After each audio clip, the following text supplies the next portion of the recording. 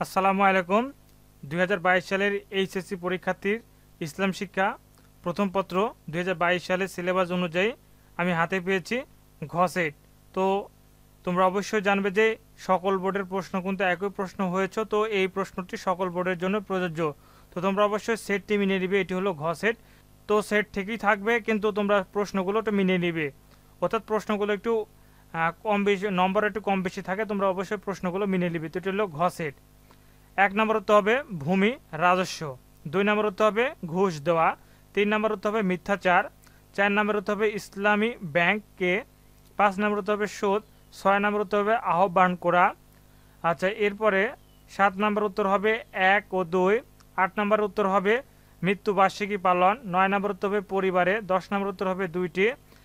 এগারো নম্বর উত্তর হবে তিনটি হবে। বারো নম্বর উত্তর হবে সিজদার স্থান। তো এই ছিল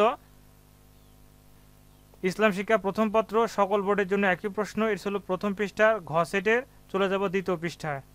আচ্ছা এরপরে তেরো নম্বর উত্তর ছিল নেতা চোদ্দ নম্বর উত্তর ছিল ন্যায় বিচার পনেরো নম্বর উত্তর হবে দেশপ্রেম ষোলো নম্বর উত্তর হবে পুরুষদের সতেরো নম্বর উত্তর হবে পিতার অধিকার আঠারো নম্বর উত্তর হবে এক এবং দুই উনিশ নম্বর উত্তর হবে ফরস বিশ নম্বর উত্তর হবে উম, কোরানো একুশ নম্বরের উত্তর হবে এক দুই তিন অর্থাৎ তিনটি হবে ঘ বাইশ নম্বর উত্তর হবে চল্লিশ তেইশ নম্বর উত্তর হবে দারুল আরকাম।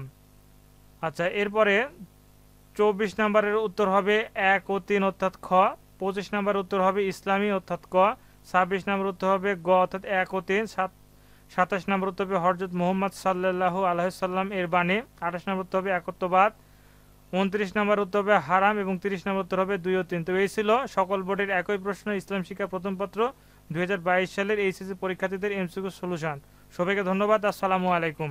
আর এটি ছিল ঘ সেট।